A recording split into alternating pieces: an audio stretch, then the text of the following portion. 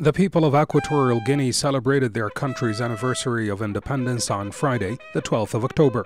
President Obiang Nguema Mbasogo and First Lady Constancia de Obiang joined hundreds of Equatoguineans, government officials, diplomats, and business leaders who traveled to the president's hometown of Mongobo for the two day event.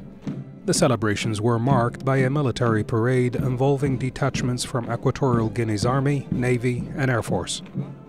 Among the attendees, Idris Deby of Chad and his counterpart Manuel Pinto da Costa from the islands of Sao Tome and Principe, as well as the Deputy Prime Minister of Cameroon and the Queen of Swaziland.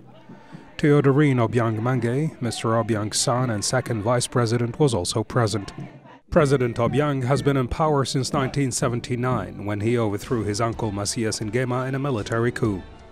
Equatorial Guinea is located on the west coast of Central Africa. It's one of the smallest countries on the continent and the only Spanish speaking country in Africa. Its population 700,000 people. The country has experienced rapid economic growth since the discovery of oil and gas in the 1990s. It's currently the third largest producer in sub Saharan Africa. But according to several NGOs and UN agencies, there has been growing inequality between regions and poverty is still widespread.